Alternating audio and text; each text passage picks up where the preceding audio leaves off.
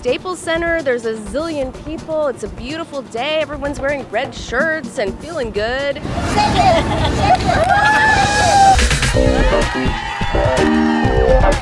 Ah, I'm so excited. Being here at the Staples Center, this is a big deal. This to me means that our message is being received. People are jumping on board. People are getting on fire and ex- just as excited as we are to be here.